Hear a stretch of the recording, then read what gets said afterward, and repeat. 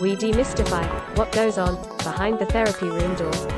Join us on this voyage of discovery and co creative conversations. This is The Therapy Show, Behind Closed Doors podcast, with Bob Cooke and Jacci Jones. Welcome back to episode 117 of the Therapy Show Behind Closed Doors with the wonderful Mr. Bob Cooke and myself, Jacci Jones. And in this one, Bob, what we're going to be looking at is really interesting topic. I can't wait for this one. Falling in love with your clients in the therapy process. Well, you know, Jack, I think we've been doing these two years or however long we've been doing these titles. But I always love it when you say the um, when the introduction goes in, wonderful Bob Cooke. And you know, when we talk about love, the English language or the English, yeah, the English language is very, very limiting. Yes. So if you go to Greek culture, for example, there's about seven words for various type of love. Same in Italy and many other countries, but in England or the United Kingdom, love covers many different aspects. Yeah. I say wonderful Bob Cooke is a very loving, caring thing to say, we could say, but we haven't got the different types of love. So in Greek, you've got agape, haven't you? You've got eros. I, can't remember all the nine various forms of love, but we haven't got that. It's very process in our language. It's very definitive.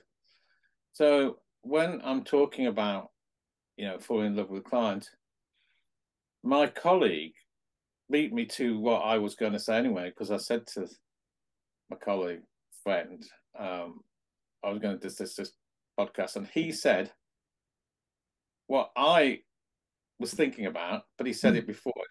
So I didn't say it, so he took ownership of this. But I actually had thought this, and that is my report. I'm laughing, we've thought of it. But my response is, um, well, I'd be worried if I didn't fall in love with my client. Interesting. Again, it's what your perception of it is, isn't it? Yeah, yeah. Right. So if love equals taking account of, taking care of, yeah, thinking about them. The last podcast I think we did, or another part, which is about tissues and, um, you know, tea. It's in this ballpark. Yeah, taking care, thinking about them, uh, uh, promoting loving actions, spending time worrying about them, being concerned about them. They're all in the ballpark of love. Yeah. It depends what we mean by love. Yeah. You know, um, if we're going to talk about romantic love, which part of this podcast will be about, yeah, then we're into perhaps another whole story, which a lot of this podcast has been about. But love on a more general sense, I mean, we, we haven't got the, the word in the English language taking time to take our client to supervision if we're stuck. Yeah. Thinking about them. Maybe offering a cup of tea. Passing a psych a tissue box. Um, spending time pondering clinical processes, being moved from the heart.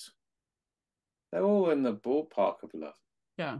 Absolutely. Loving actions. Yeah, yeah There's an energetic love stream. So, from that perspective, I'd be worried if I wasn't thinking fondly, loving, counting, all things I've just said, per se. Yeah.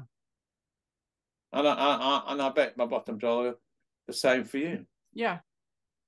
Yeah, I think when when I read that title, it was there was you know that instant thing. Oh, you know, is he going to ask me if I've ever fallen in love with one of my clients? And then you think about the intimacy and, and the relationship side of, of love and everything. But I also know that, you know, every one of my clients have a special place in my heart for mm. whatever reason.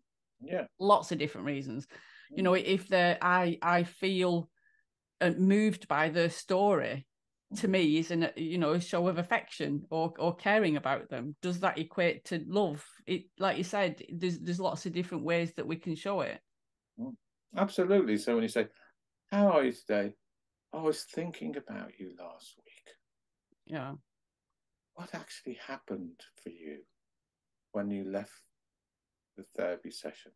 Yeah. Isn't that a loving action that you would be thinking about your client, that you'd be pondering about them, that you'd remember what you worked in the last session? Yeah. Now, the clients may never have had that type of love, if you like, and many of my clients didn't. Yeah. Yeah. So, that type of fertile ground, that type of attitude can be very reparative in its own sense, anyway. Yeah. And there's something I, I don't actually know what they all are, and it's very American or whatever. But the love languages and how we need to be shown love, whether that's by you know different acts like people making us a cup of tea, you know, going on to that podcast that we we recently did about tissues in tea, whether it's you know by touch or you know acts of kindness, you know, we we all receive love in lots of different ways.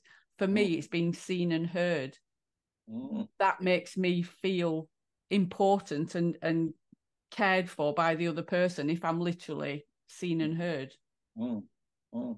and for many many many of my clients over all the years a lot of the therapy has been about this type of attitude and um, the client being able to take mm. the loving types of actions and thoughts which they often had never you know had in their lives. Yeah. Or in fact would think it was a trick yes or yeah. technique or some sort of language like that and would find it so hard to take. Yeah. And i think it, you know when sometimes when we have given love in in a, a way that connects with the client it can change the dynamic somehow.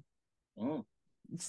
I you know i've had it where some clients have literally withdrawn because it's been it's felt too too intense or being seen and heard in a therapy session can be too much for them. Yeah and that's really really important for the therapist to think about. Yeah and to, to notice if it happens and then bring it back to the therapy room and discuss you know how did it feel for you when i said that or did that? Yeah, yeah. because if if people haven't been brought up on a full meal, yeah, uh, say they've been brought up on crumbs rather than the full meal, and if they have a full meal, they'll be sick. Yeah, absolutely. So that's we, a really good metaphor, Bob, and I think that's how it feels. It, it, it's overwhelming. Yeah. Overwhelming. That's yeah. It. And then they'll close down. Yeah. Um, so it's important if the therapist is going to think this way relationally they consider all this in terms of a developmental perspective with their client. In transaction analysis, it would be the word script. Yeah. They spend some time thinking about the client's script within the therapeutic relationship. Yeah. Yeah, because giving and receiving love often can be seen as, you know, it's that place of vulnerability you know if it's going to be received and and you know reciprocated or whatever it is. So it, it can be quite triggering for clients. Mm. oh in fact extraordinarily. Yeah. Extraordinarily triggering. Because you know um, often for many many clients who've never had that love or that's what they've dreamt about or that's what they've desired or that's what they've fundamentally needed but have never had. Um, it's such a challenging process. Yeah.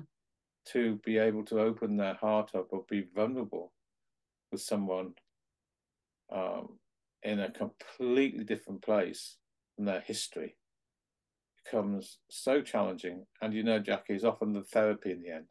Mm yeah.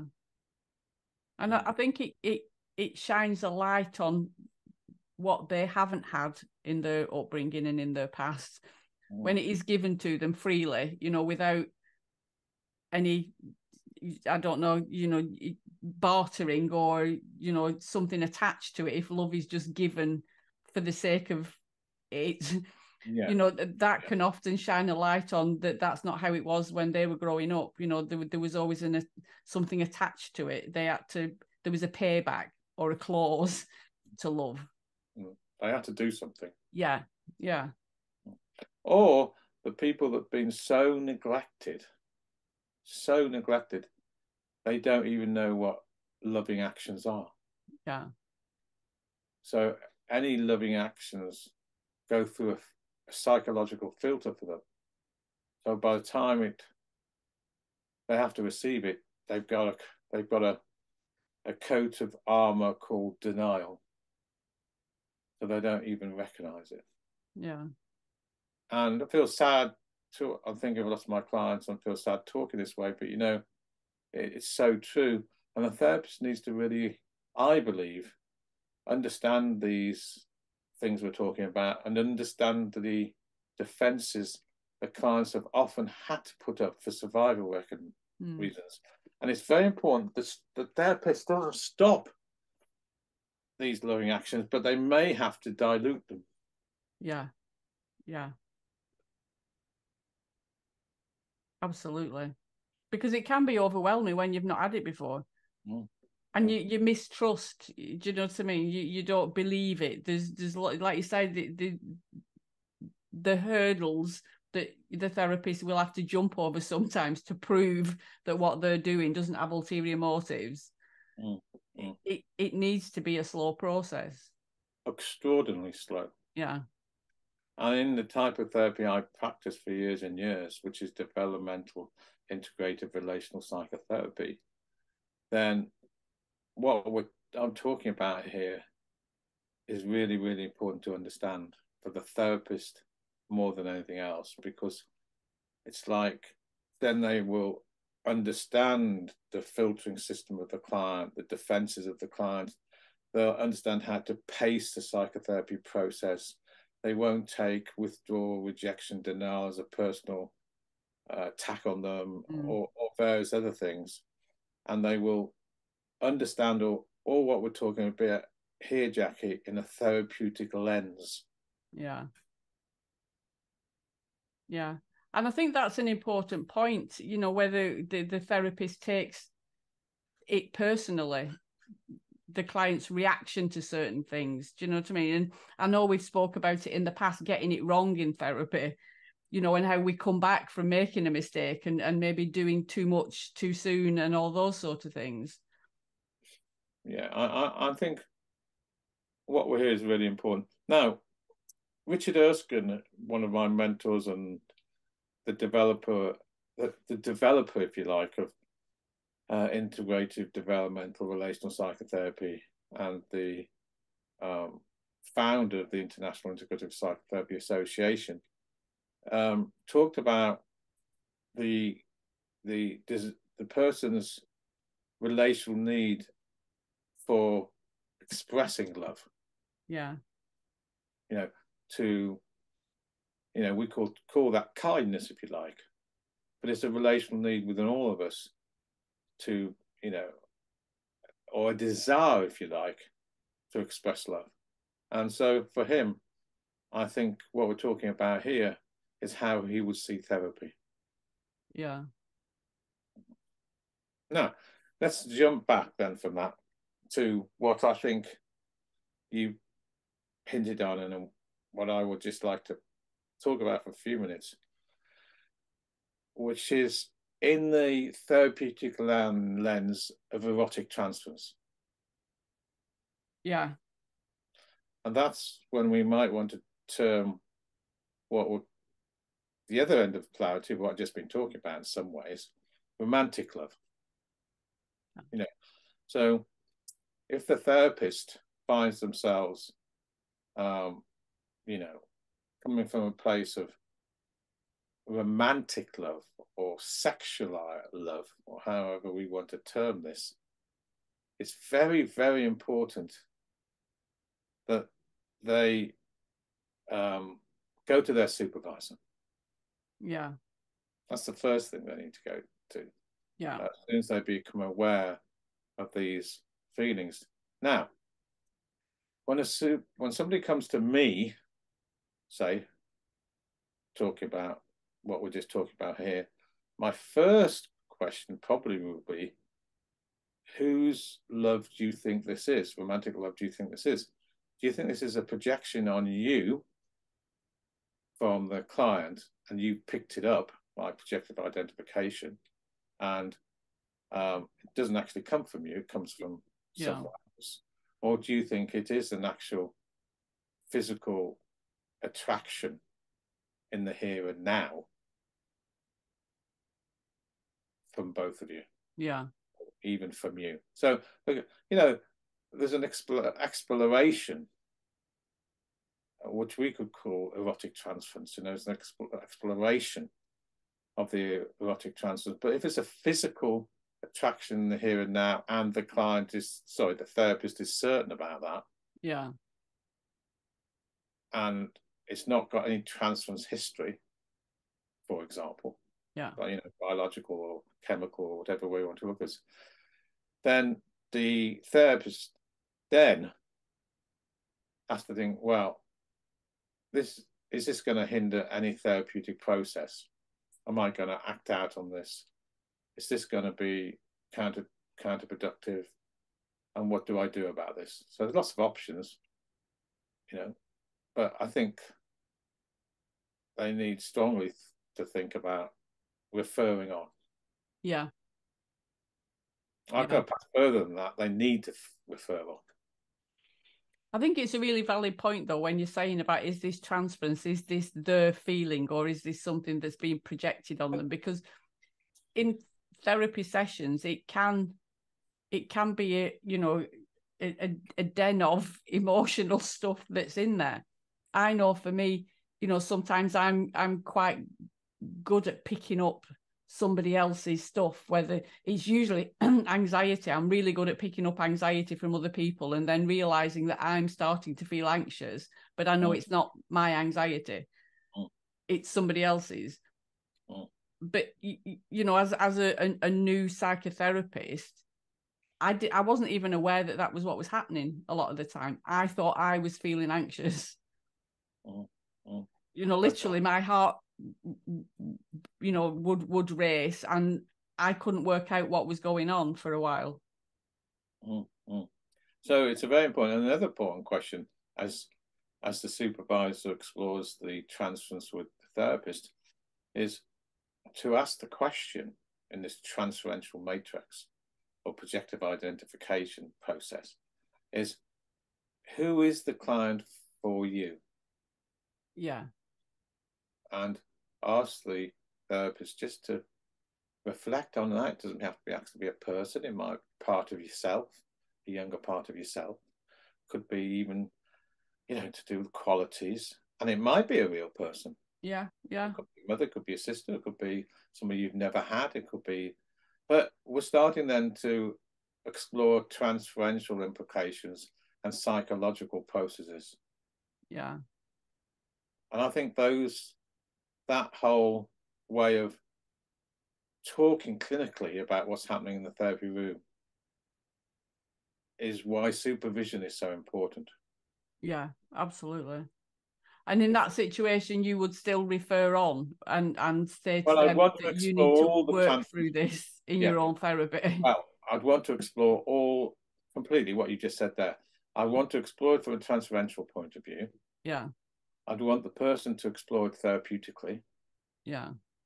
And if it's a physical attraction in the here and now, then it, without any transferential, without any, you know, historical aspects, and if they think they aren't able to um, do the therapy, therapeutic process because they're always in inverted commas lusting after the client or or whatever language we want to hear, they have to refer on.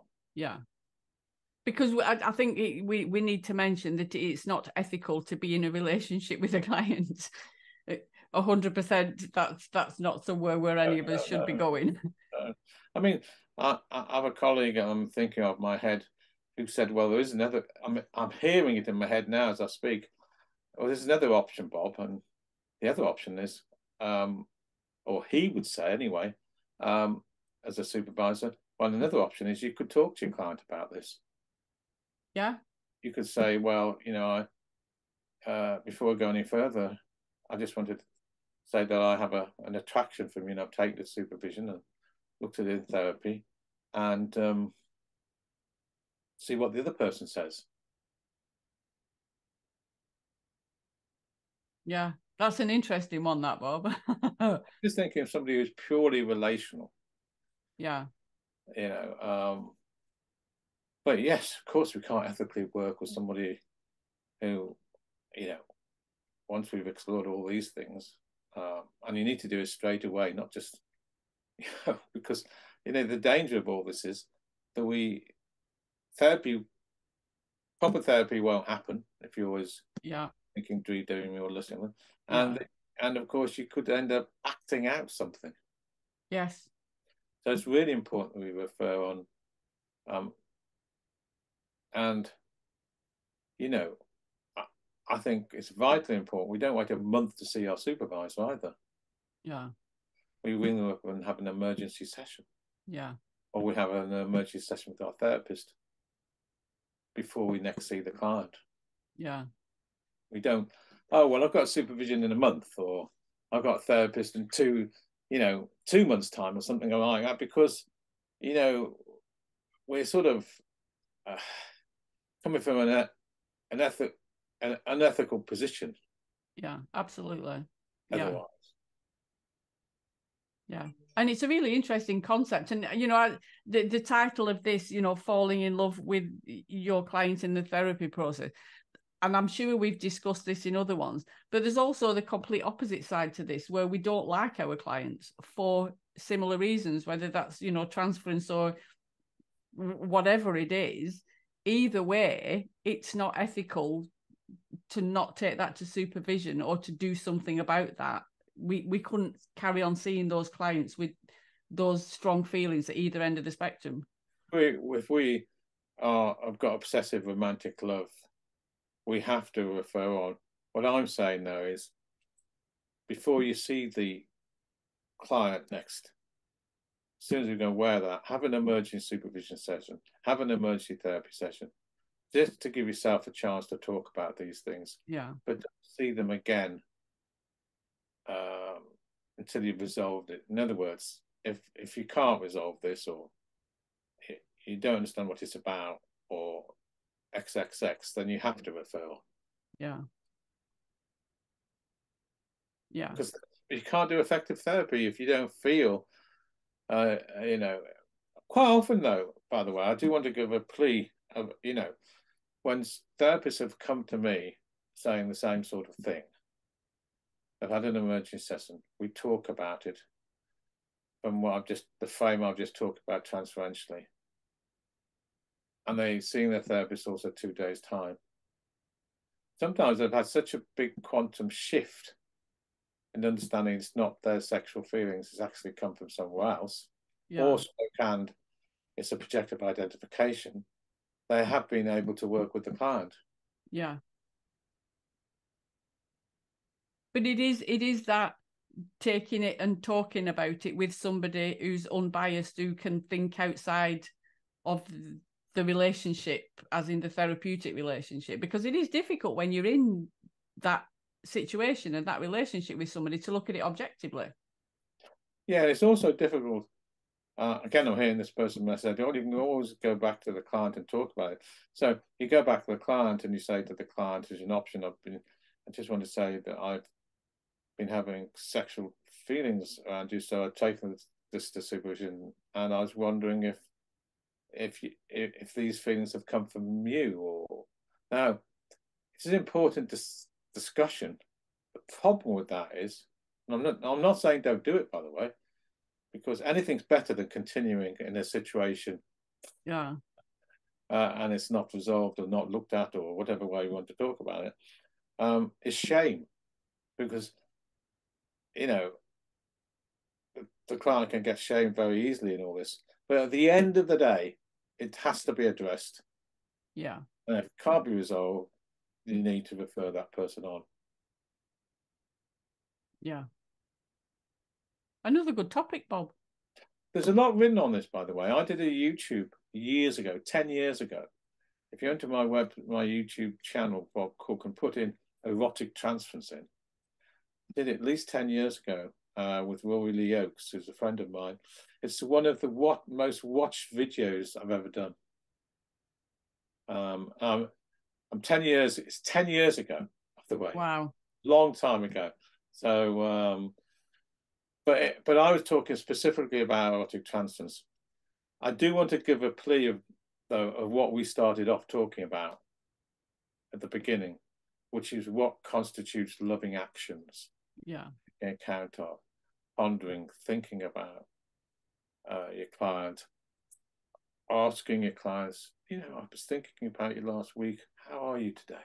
Yeah. All loving actions, aren't they? Yeah. Yeah. That whole discussion to me is really important, as is what we have just talked about, because I think often this is is in the role of transference and can be resolved, and there might be a quantum shift, and you you can discuss it with your client. But you know, it's really important that if you can't resolve it, you don't work with that client.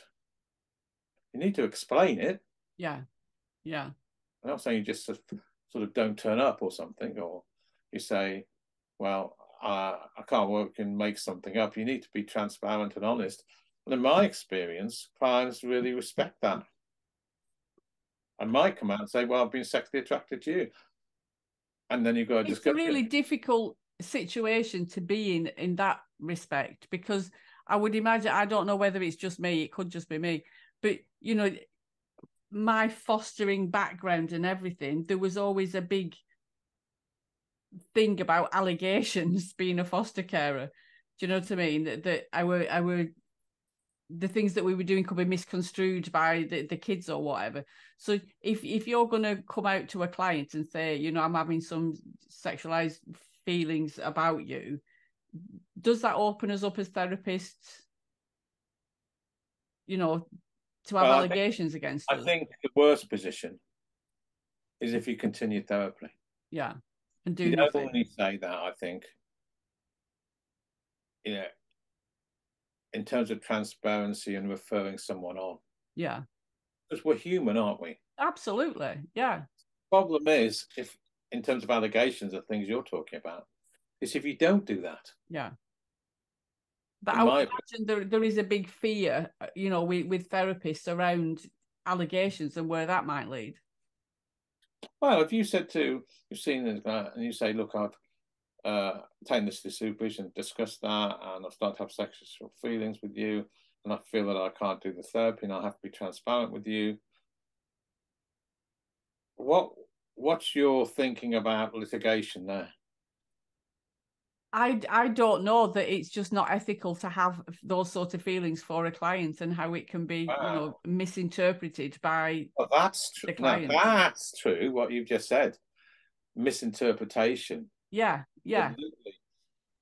Well, you might want to record it then.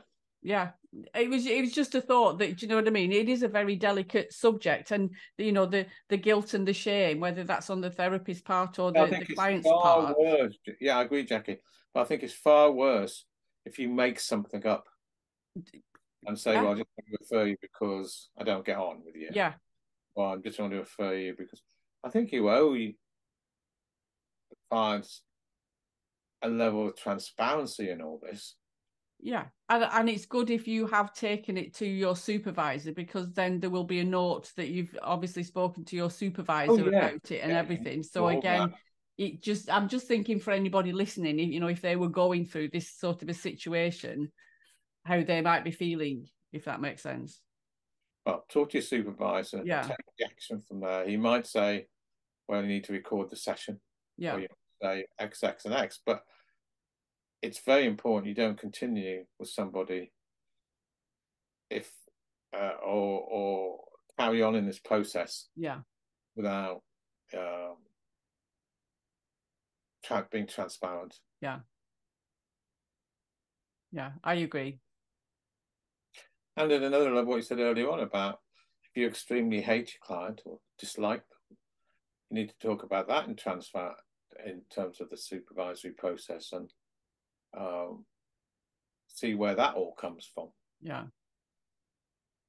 because we we we do have feelings and emotions in the therapy room that belong to us. do you know what I mean? Because we're co-created a relationship, so we're in there all of our stuff as well as the client. It's you know, I think that's one of the reasons why I like the relational psychotherapy and transactional analysis because I do take the whole of myself in the room with me. I don't leave parts of my personality outside the door, if that makes sense. So we are going to come across difficult situations with the client in the therapy room. And I think using supervision, using your therapist, transparency, and ethical integrity is the way forward. Yeah. Me too. So another good podcast, Bob. What we're yes, going to be talking it, about. Perhaps that could have been in the in the air of an ethical dilemma, but I do think that um, it's important to discuss. Yeah, I think I think a lot of the topics that we talk about are really important, and I think that's one of the reasons you know the the therapy show behind closed doors because I don't think a lot of this stuff is openly spoken about. No. Yes, between the the therapists and the supervisors, hopefully, but openly with students or or you know people that are interested in therapy. I don't think these things are spoken about. They're and I'll give a a sort of advert for the United Kingdom Council of Psychotherapy here, which is the the, the basic, I think, regulating model, uh, not model, uh, authority for therapists, regulating body, put it that way and they demand that people trained to be therapists have 160 hours of their own therapy over four years, and they have a very strong ethical code, and it's so important. Yeah, because if there's not this uh, accountable body, for example, um, we live in the we can we could live in the world of the wild west. Yeah, quite easily. Yeah without any regulation or accountability. Yeah. The ACP, another important regulating body. Um, without these bodies, without these forms of accountability, without these frameworks of supervision therapy and everything that goes, goes with it, we can live in the world of the Wild West easily in a deregulated, unaccountable um, process yeah. without framework or structure. And that would set psychotherapy back to the dark ages. Yeah. Yeah, yeah.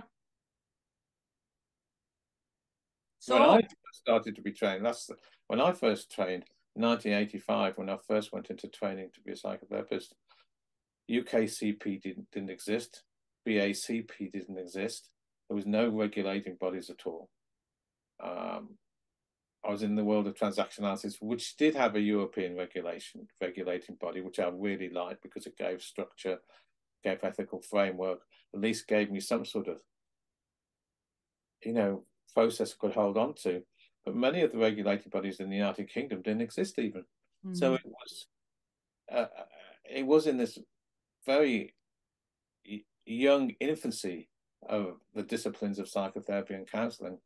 So the regulating body at least give me some sort of protection structure and of course clients protection structure and accountability. Yeah. Definitely. So bob thank you. Thank you. Thank you very much for giving me the chance to talk about the different types of love as well. And in the next podcast we'll be looking at codependency in the therapy process which kind of leads on i think from this yeah, sometimes in transaction analysis world, codependency, codependency is called symbiosis. Yeah. And again, in the transaction analysis world, you've got first order symbiosis, second order symbiosis. But we'll talk about it, I think, in um, the world of codependency, which is really an American word. Um, but for the people who are listening to it, you can call it symbiosis or you call it codependency but it's a fascinating subject for what can happen often transferentially in the psychotherapy room. And the two people, therapist client, may not even be aware of it. Yeah. I think codependency is more easily understandable. Like you said, it's American, but it kind of says what it is on the tin. Mm. I agree with you. I look forward to discussing that. Absolutely. Until next time, Bob. Thank you so much. Thank you. Speak to you soon. Speak to you soon. Bye. Bye bye. You've been listening to The Therapy Show, Behind Closed Doors podcast. We hope you enjoyed the show. Don't forget to subscribe and leave us a review. We'll be back next week with another episode.